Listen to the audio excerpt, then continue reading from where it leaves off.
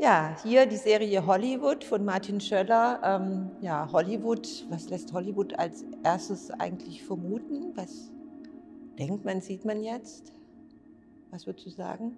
SchauspielerInnen, Promis. Ja, Glamour, tolle Models. Menschen. Ja, aber auch da, ähm, ja, es spielt der Titel eben genau mit solchen Assoziationen, die man erstmal hat. Ähm, hier geht es nämlich um West Hollywood, nämlich also die Rückseite oder die andere Seite davon. Ähm, Martin Schöller hat hier auf der Straße Menschen äh, fotografiert, die äh, dort als Sexarbeiterinnen arbeiten, quasi so zu ja, der untersten Schicht gehören, die man kennt, hat mit den Menschen Kontakt aufgenommen, wieder über eine Organisation, die sich um diese Frauen hier kümmert, die ja, als Transgender Frauen anschaffen, dort auf den Straßen stehen und auch tatsächlich schwer zu fotografieren sind, weil die so beschäftigt und nachgefragt sind, dass man die kaum vor die Kamera gekriegt hat, so wie er es erzählt hat. Ähm, er hat sie natürlich bezahlt dafür, dass sie für ihn Modell gesessen sind und hat dort vor Ort mit seiner Ausrüstung sie fotografiert.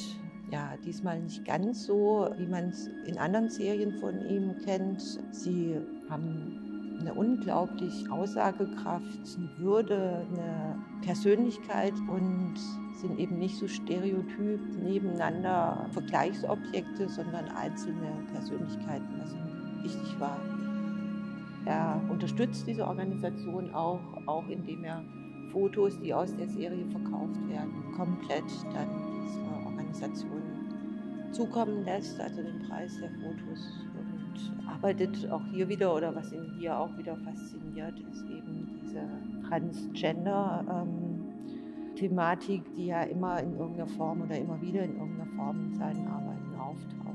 Diesmal halt in einem ganz anderen Milieu als beispielsweise ähm, ja, bei den Drag Queens. Ja, was mir gar nicht so klar war, ist auch, dass äh, es auch da in dem Milieu so einen Markt dafür gibt. Ja, eigentlich ist es, wenn man sich da reindenkt, auch klar, aber ähm, das hat mich schon irgendwie auch erstaunt. Also dass es anscheinend für Menschen, die eben nicht eindeutig festgelegt sind und eben noch eine unglückliche Geschichte haben, dass ja eine Lösung ist, damit zu überleben. Das fand ich schon also sehr beeindruckend. Den, Markt, den Markt meinst du jetzt die Prostitution? Ja, also dass sie alle ja Sexarbeiterinnen sind, die anscheinend, so wie er das äh, eben erzählt hat, dass sie kaum Zeit haben für ihn, also da Modell zu sitzen, obwohl es auch bezahlt wurde, ja, dass da so eine Nachfrage ist. Wobei also auch wieder von Dokus und so äh, Prostitution in äh, Amerika nochmal ein ganz anderes oder einen viel höheren Stellenwert hat als in Deutschland äh, weil es dort eben so eine Art Traum ist vieler amerikanischer Jugendlichen Menschen, die sagen, äh, ich breche die Schule ab und mein Traum ist es, mit Sex Geld zu verdienen. Und wie grauenvoll das Pflaster ist, erfahren die dann halt erst später. Aber dass viele das als leicht verdientes Geld sehen, was halt gar nicht so ist. Zumindest in der Doku, die ich halt mir angeschaut habe. Äh, dass eben viel mehr Leute in Amerika das halt auch, also dass es eben ein viel größeres Geschäft nochmal ist als eben hier oder beziehungsweise eins, worüber viel offener auch geredet wird.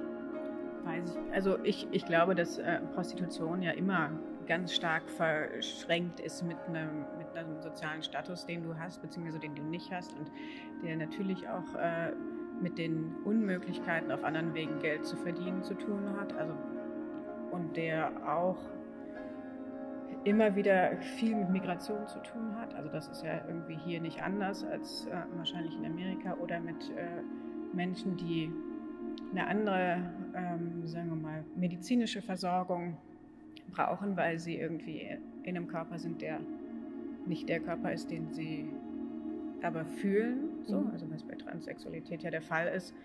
Und dass das natürlich zu einer Verkettung dann auch führt von einer sozialen Situation, an deren Ende dann irgendwann die Prostitution steht, ich glaube nicht, dass es so viel in diesem Fall jetzt explizit damit zu tun hat, dass das eine in dem Sinne äh, überlegte oder selbstgewollte Möglichkeit ist, schnell Geld zu verdienen oder sowas, sondern das genau ist die, ähm, ist die Realität derjenigen, die nicht in ein bestimmtes Schema passen, was äh, eine Normalgesellschaft äh, parat hat. Mhm. Und, und natürlich mit diesen ganzen Schwierigkeiten der medizinischen Versorgung und äh, dem nicht vorhandenen Gesundheitssystem oder Krankenkassensystem. Ähm, Wie wir das halt hier kennen.